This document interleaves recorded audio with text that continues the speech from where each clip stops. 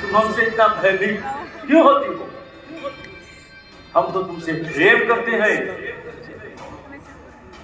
तुम्हारे लिए हमारे महल में दिव्य आभूषण हीरे मोती मणि रेशमी परिधान संसार के सर्वोत्तम भोजन अर्थात संसार के सारे सुख तुम्हारी सेवा में पड़े रहेंगे।